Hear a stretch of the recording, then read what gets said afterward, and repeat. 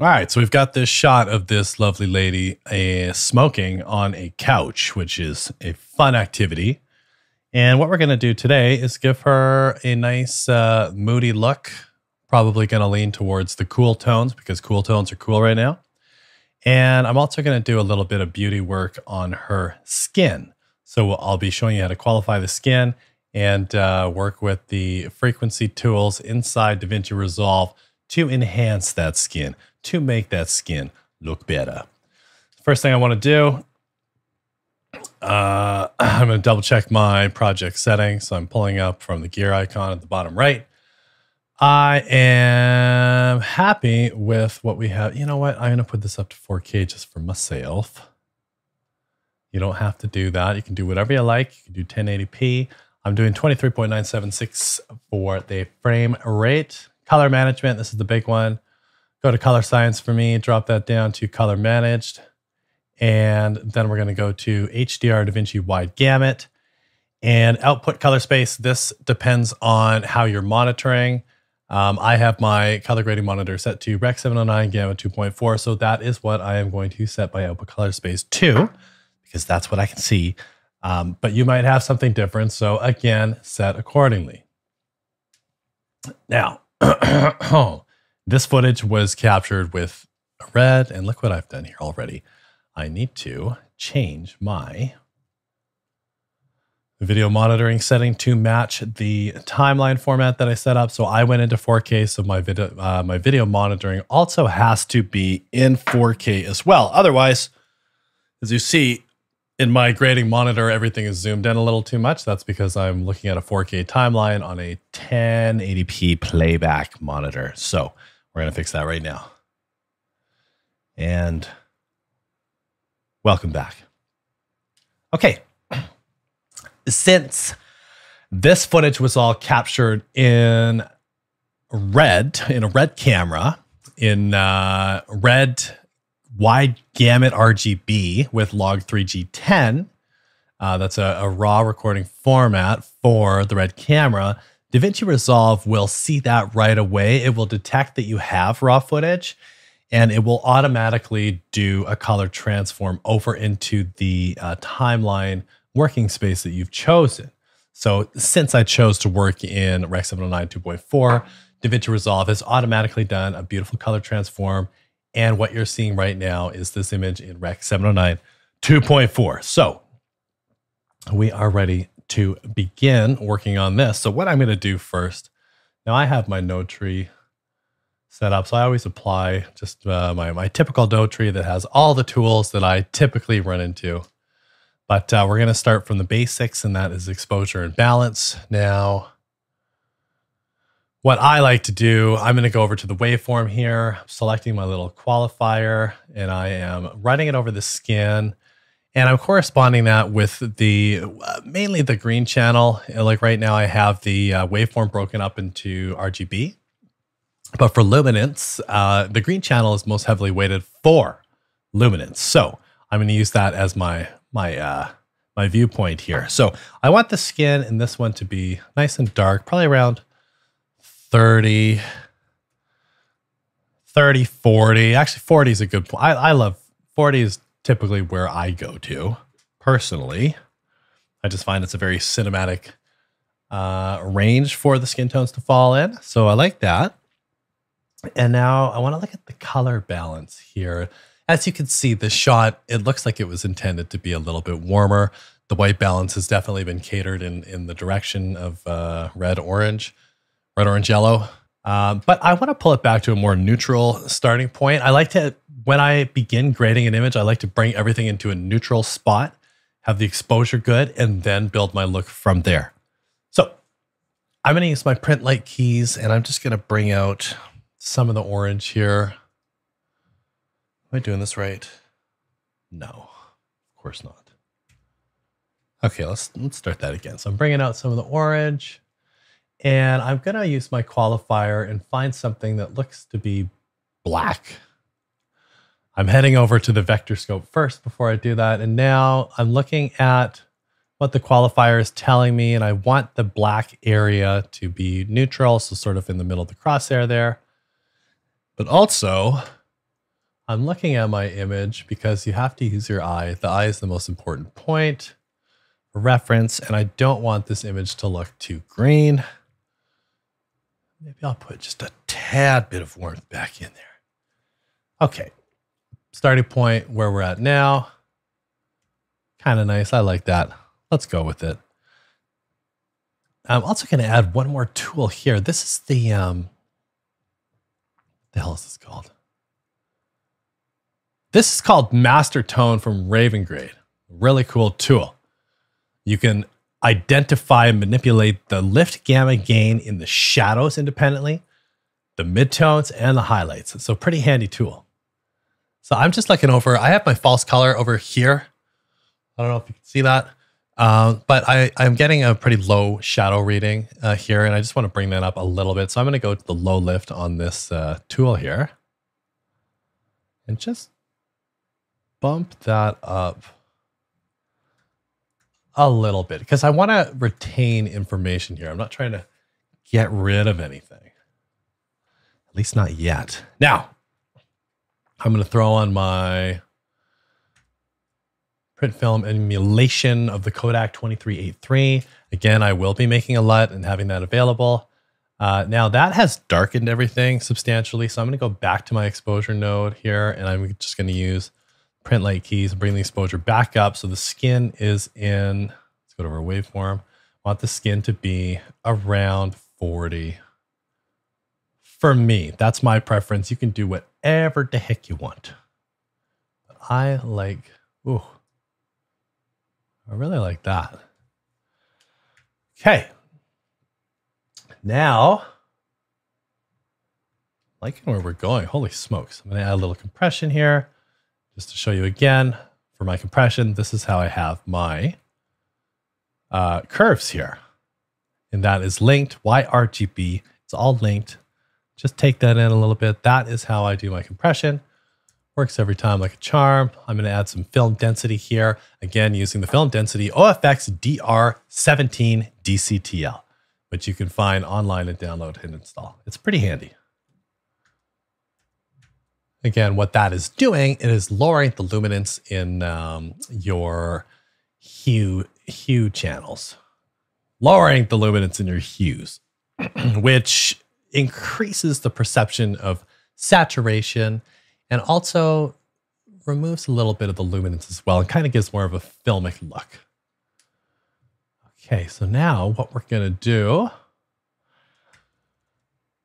I'm happy with how this looks. I think actually what I'll do is bring in, I love vignettes. I always find it just kind of finishes the look, but I want this one to be shaped a little better around her so it matches more. Uh, and then before after. So it just kind of draws your focus, draws your focus into the talent, the subject. Now, I want to get her skin looking as good as possible. So I have I have all these parallel nodes here that I just kind of preset and those can be used for a variety of things.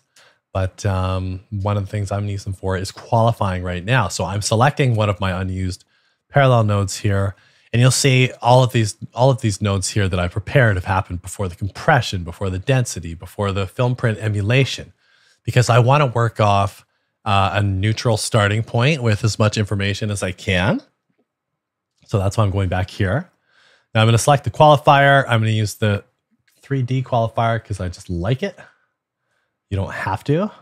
There's a variety of qualifiers that you can use. I just, I get pretty good results with this one. It's going to blur that up a little bit. And then I think I will also add a little mask here just to control where all of these qualifications are happening because we do have a very monotonous uh, palette happening here. So a lot of the colors in this scene are very similar to one another. So qualifying can be a little more difficult not impossible, but uh, you might find that one a little more difficult to work with. So I'm just going to, I'm tracking this mask and we're going to isolate qualifications into the mask. So I'm just letting that go. I'm going to keep you here for the whole experience. want you to know what it feels like to motion track. It's fun. Oh, that's a wonderful bullet coffee. A little bit of butter, protein powder, chocolate protein powder, and of course, coffee and MCT oil. Keeps you going, keeps you focused. Okay, so we've got our thing tracked. Now, going over to the mask tools here, I'm going to add a little bit of uh, feathering inside outside, soften it up a bit. And then we're going to go back to our mask, and I'm quite happy with that. That will work for me. I'm just going to try to get rid of the lips a little bit. I don't want too much of the lips. Oh boy, that's a messy one. Uh, let's see here. I think maybe, do I want to denoise that at all? I'm happy with that. That, that to me, that will work. That will work very well. I think I'll just drip it inside a little bit more. Yeah. Okay. Now, check this out. There's a lot of stuff that we can do here, but my new favorite way to do this is to locate the beauty tool. Resolve FX beauty tool. It's built in. I'm in uh, DaVinci Resolve 18 Studio. So if you're not in Studio, I'm not really sure which uh, which OFX tools are missing there. I hope you have beauty. if you don't, buy the studio version. It's not that expensive and uh, free updates forever. Okay, so what we're going to do now operating mode, Ultra Beauty. I only work in Ultra Beauty. So let's go to filter. And so I'm just going to turn off and on just to look where we're at right now. And I'm going to go to my filter radius. And I'm going to move that around. Oops, we got to turn the note on. I'm going to move that around until I feel like most of the little pores and bumps and perhaps pimples. I'm not saying she really has anything to worry about, but I'm looking for a range here that will seem to work with and eliminate the most detail on her skin. And then I'm going to go down to the edge threshold and play around until I find a spot that seems to do the most work in terms of correcting and smoothing out these skin details. And then I'm going to leave the strength up at full because I'll do a global blend at the end to tone it down. You never want to overdo the skin beauty because then things look just like really messed up. Like you don't want it to look like it's been worked on. Okay, now I'm going down to detail recovery. I'm going to preview the edges and the details. I like to go right to the width and then make it make it so there are like many sharp details here. This is just how I like to do it. Um, I might blur it a little bit. I mess with the gamma so it's a little bit darker, kind of like that.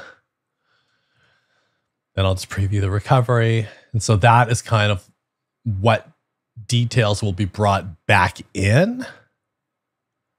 So, I mean, you can tone it down a little bit. Maybe something that looks a little more plasticky and less old. Maybe like, maybe like right there. Kind of like she's got saran wrap over her face, which is very scary. Don't do that. So now I'm going to uncheck the preview recovery. And now I'm going to go down to texture. I'm going to preview the texture that we're going to bring back in. And this is how we're going to kind of balance it out with information that we have taken away and now information that we're bringing back in, or texture rather. We don't want it to be too smooth. And texture is a very good way to balance out any of the reductions that we've done. So I'm just gonna like this is all about taste. That's uh that's a major point to consider. I mean, you got the tools, you can do all the things, but what you really have to do is develop your taste and uh, get good at identifying corrections and colors and balances that look good to well the people that matter most and that's your audience that's your clients it's not always just about you Okay. On, off, on. I'm pretty happy with that, to be honest. I'm not going to do too much more because I, I feel like I've done something incredibly beautiful right now and I don't want to mess it up. So let's look at that. Uh, I'm going to add in some grain because I feel like grain just brings a video image to life and it can also hide any imperfections in the image. Um, maybe some of your skin qualifications weren't perfect. Put some grain over it. Um, it'll also help, you know, smoothen out and uh, enhance the consistency of the texture, tone in the face and the skin.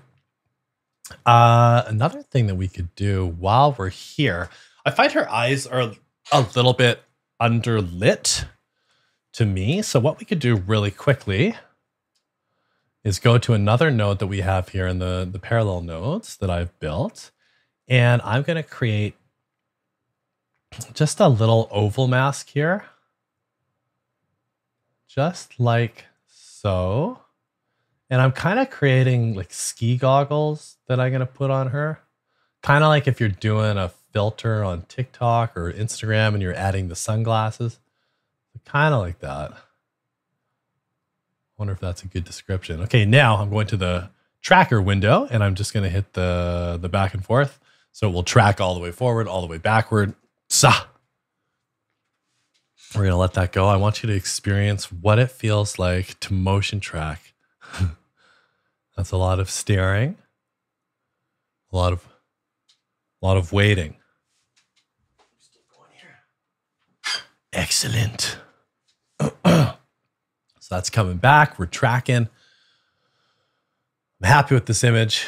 I love red. I think they did a fantastic job implementing the IPP2 color science and the log uh, 3G10, which allowed them to compete with ARRI's log C, ARRI's incredible legendary color science. Wow, it's good. Okay, this is tracked. So now I'm just going to go over to, you know what? I think I'm going to utilize that really cool DCTL that I'm trying to sell you on called Mastertone. And I'm going to play around with some of the shadows here and just see where I can enhance that. Cause I, I like, I'm going to go in the low gamma right now and look what happens right away. It's, I'm almost improving her eye bags as well. Look at that. Oh, it's pretty sweet. You know what? I'm happy with that. If you're happy with what you've done and it looks good and you know it's good and you're confident to send it out, you don't have to overdo any of this stuff. Subtlety is the key in post production, in color correction. I'll speak for color correction. Not a VFX artist, but subtlety in color correction is absolutely essential. I'm going to add one more topper correction here. I'm showing you where this is hitting, just at the very top of the screen. I think I'm just going to bring that down just a tad, just to bring the focus and the lighting uh, down into the middle of the, the frame here. So I'm happy with that. Um, I am going to add some noise reduction at the beginning of the shot to show you the settings that I had used. See, take a look. And then I'm going to render this out. And uh, we've done a great job here. This footage is available on raw film. It's raw.film. They have an excellent collection of stock footage, all shot in red raw. And a lot of it is 8K. So it's incredible. So check that out. This has been fun. I'll see you later.